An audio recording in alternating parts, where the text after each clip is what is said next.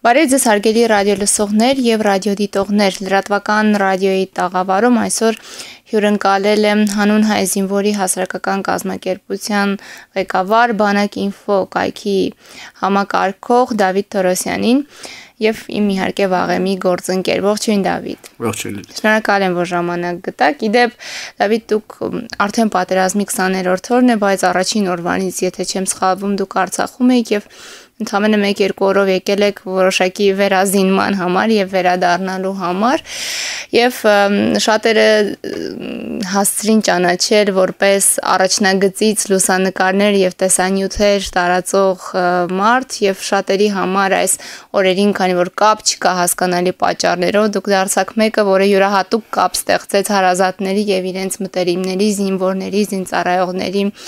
միջև ինչ տրամադրություն էր առաջնագծում Դավիթ եւ եւ նաեւ ինչու ոչ Արցախում առհասարակ։ Նախ շնորհակալություն հրավերի համար։ Սկսեմ տրամադրություններից։ Տրամադրությունները շատ տարբեր են, բայց ամենա օբյեկտիվը, ամենաբարձրն ու լավը իհարկե առաջնագծում են որովհետև ինչպես նշեցի կապի խնդիր կա, ու այդ կապը ոչ միայն հեռախոսակապ կամ չեմ ինտերնետ հասանելիության կապի խզում կա, այլ նաև կա սոցիալական կապի խզում առաջնագծի ու թիկունքի միջև, թիկունք նկատեմ թե Արցախում, թե Երևանում, այսպես ասած ու ընդհանուր զրույցի ընթացքում, երբ որ նշեմ, չգիտեմ, առաջնագից կամ թիկուն կամ հասարակություն նկատեմ Արցախ-Հայաստան միասին, ոչ թե ՀՀ կամ Արցախի Հանրապետություն։ Այդ իմաստով առաջնագծում տրամադրությունը բավականին բարձր է, հատկապես ժամկետային զինծառայողների մոտ սովորաբար կամավորները զարմանում են, սովորաբար կամ նկարացին այսպես դուխ տալու, բայց գալիս են իրենք են դուխավորվում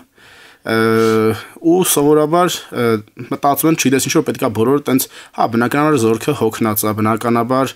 ակտիվ մարտեր են գնում, բնականաբար այդ այդ ամեն ինչը օբյեկտիվորեն է, բայց ոչ մի նկար արհեստականորեն ժպիտներ, եթե նկատել եք, բոլորը ժպտում են մեր նկարներում, ոչ մի նկարում արհեստականորեն, չգիտեմ, այսպես ասած, չենք ստիպել որ ժպտան, էլի, իրանց պոտ բնական է մի մասը նաև ճանաչում է, չգիտեմ, տեսնում են, ուրախանում են եւ այլն, ու այդ ամեն ինչը հենց այդ նպատակով էլ արվել է, քանի որ բանակ ինֆո կայքը մասնագիտացված է ռազմական թեմաներով հենց հենց այդ սոցիալական խզումը կապը վերականգնելու նպատակ ունեն ֆոտոշարքերը, բացի զուտ պատերազմական բուն գործողությունները լուսաբանելուց։ Դավիթ, իհարկե ձեր աշխատանքը այնքանով է վտանգավոր, որքանով որ նենք է մեր ճշնամին, որովհետև այսինքն համապատասխան պիտակավորումը կա, պրես, հա, լրագրողներին չի կարելի թիրախավորել, այն ամենայնիվ առաջին օրից մենք տեսանք գործող բոլոր լրագրողները թիրախավորվում էին, այդ գիտակցումը բնականաբար խոցելիության դիտարկման պայմաններում դուք անում եք այդ աշխատանքը, ինչպես է համակարգվում աշխատանքը, որպեսզի հնարավորինս անվտանգ եւ ի վերջո նպատակային լինի ձեր արած դե անվտանգությունը մեզնից հասանելիք մաս է, այսպես ասած, մենք ապահովում ենք Ժնևի կոնվենցիայով սահմանված նորմատիվներով, չգիտեմ, կապույտ ֆոնի վրա սպիտակ մեծ պրես, չգիտեմ, գրառումներ, պրոժիլետի, կասկայի վրա համապատասխան գրություններ եւ այլն, մեքենաների վրա էլ ընդ որում ստիպված գրեցինք, բայց հասկացանք, որ այսպեսով մեզ ավելի շատ թիրախավորել ենք, տեսնում եմ պրես մի անգամից ավելի շուտ են խփում դրա համար այդ պրես գրառումները մեքենայի վրայից հանեցինք, շանս ժիլետի, կասկայի վրա ամեն դեպքում կան։ Մեծ հաշվով ուրիշ ապահովում չկա,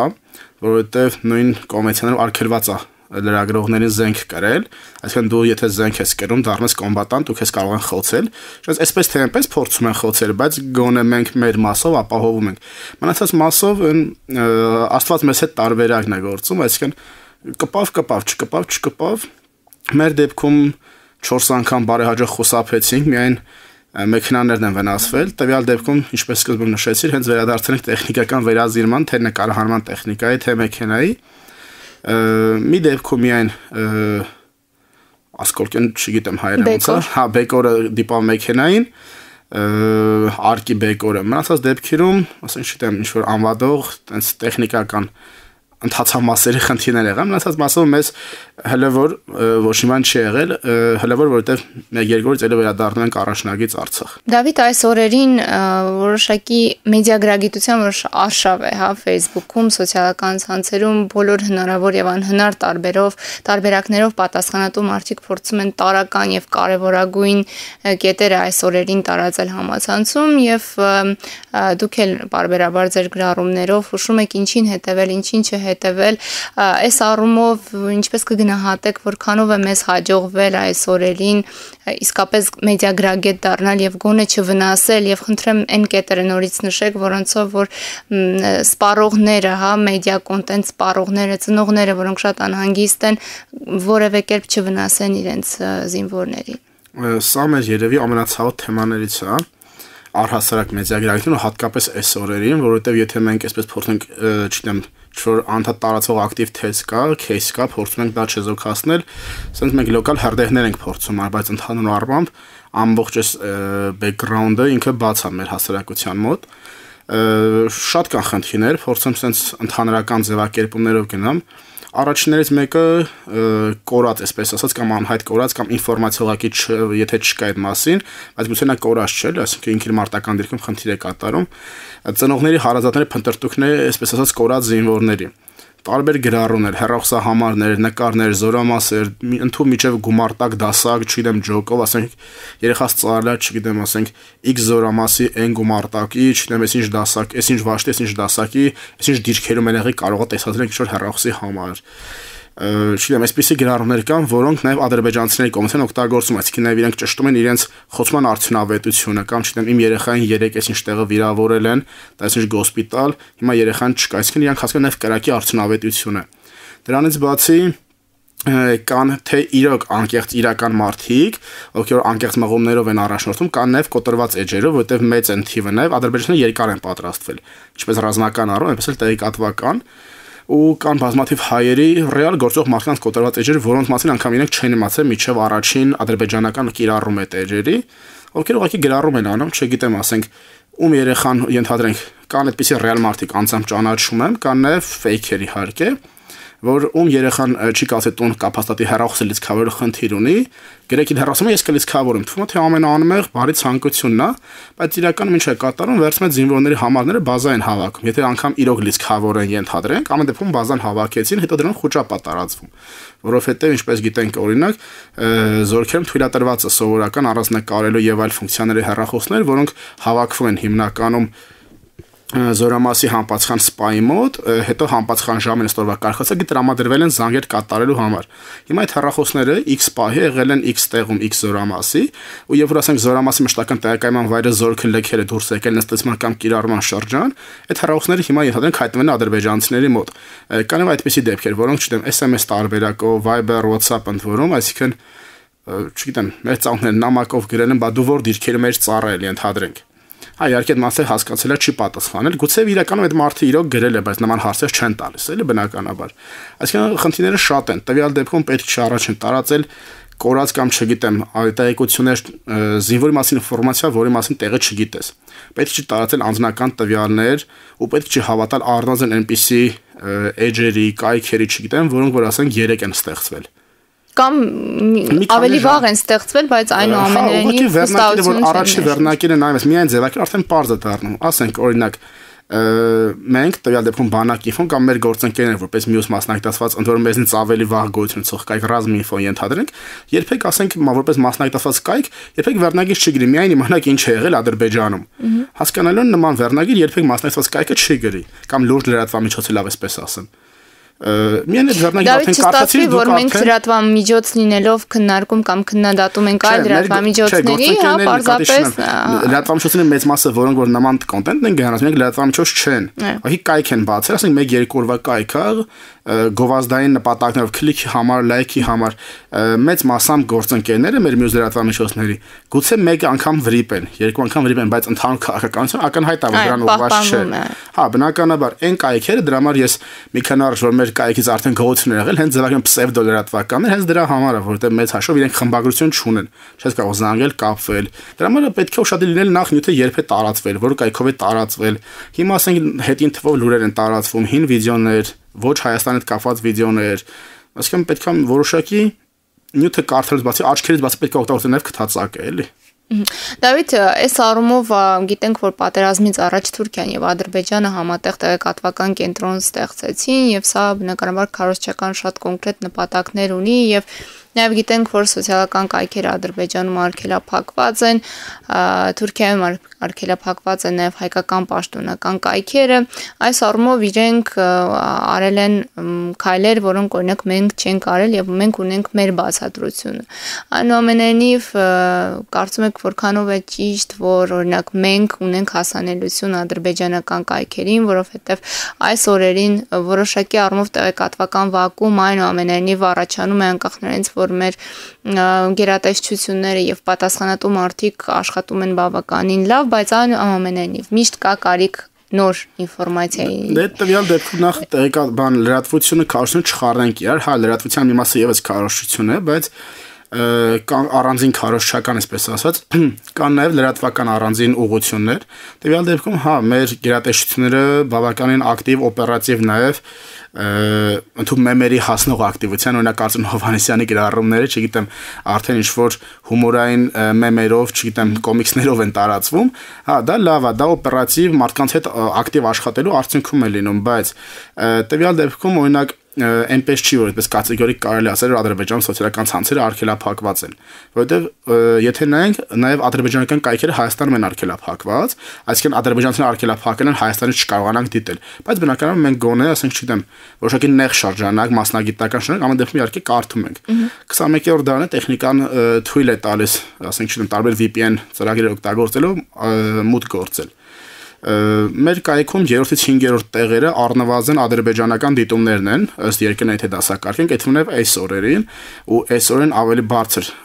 պրոպորցիայով բնականաբար ու այնպես չի էլի որ ադրբեջանցիները չեն կարդում մեզ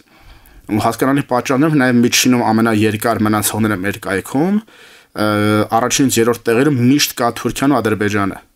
Հետո արդեն չգիտեմ ինչ որ այլ երկրներ, հասկանալի է նյութերը հայերեն են մեր կայքում տվյալ դեպքում թարգմանում են, դրա համար երկար է տևում, միջև նյութերը թերցում են։ Այդպես միանշանակ պետք է ասել, որ իրանց հասանելիություն չկա։ Իսկ մենք չենք արգելափակում, որովհետև մեր մոտ ժողովրդավարություն է, ինչպես են թվում ասել, իրենց մոտ մի քիչ այլ համակարգ է մեղմ ասած էլի։ Շատ լավ, Դավիթ, ուղղակի ամբողջ հարցն այն է, որ մենք տեսնում ենք այս օրերին հա թշնամու դաշտից, հա, հակառակորդի դաշտից բերվում են վտանգավոր նյութեր, որոնք բնականաբար հատուկ են արվում եւ արվում են, որ այստեղ խոճապ առաջանա, տրամադրության անկում լինի եւ մեդիագրագետ մարդը կամ պատրաստ մարդը կարող է անգամ եթե դիտում է ի վիճակի է հաղթահարել եւ հասկանալ, որ դա քարոզչական նպատակներով է, բայց շատ շատերը դրան պատրաստ չեն եւ գուցե դա նորմալ է, ես չգիտեմ, բայց հենց այստեղ է վտանգավորության աստիճանը աշխատել, համակարգել կամ գոնե քարոզչության, մեր քարոզչությունը այն աստիճանի հասցնել, որ մարդիկ հասկանան, որ որևէ կերպ չի կարելի հակառակորդի թշնամու տարածած տեսանյութեր իրենց արտադրանքը դիտել, տարածել, որովհետեւ դա առաջին հերթին ուղղված է իրենց հոգեբանության, բարեհոգեբանական վիճակի վատթարացմանը։ Մեր գործընկեր միայն որպես մասնագիտություն էլ տվյալ դեպքում մեր գործընկերներից կան լրատվամիջոցներ, որոնց անունը հասկանալի պատճառ չեմ նշի, ովքեր որ հայկական տերույթ են բերում ադրբեջանական թեզերը, ասենք ընդհանուր ուղիղ Ալիևին մեջ բերելով, բայց տվյալ իրավիճակում փաստացի ակտիվ մարտական գործողությունը պատերազմական իրավիճակում դա նման է, ասենք բենզինի շիշը ձեռքին հրդեհաշիջման գնալուն հա գուցե կարող շշով մի հատ փուճուր կրակ հանգցնես, բայց ընդհանուր առմամբ դա շատ հսկայական ռիսկեր է պարունակում